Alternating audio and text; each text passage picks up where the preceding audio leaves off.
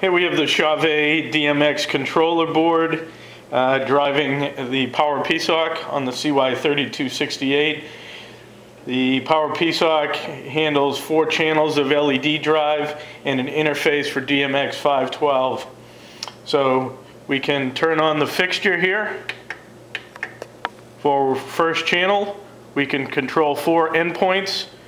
First channel is the red. Second channel is the green. Third channel is the blue. And the fourth channel is the amber. And then we can use all four channels to create different color settings by driving different levels of intensity on the CY3268.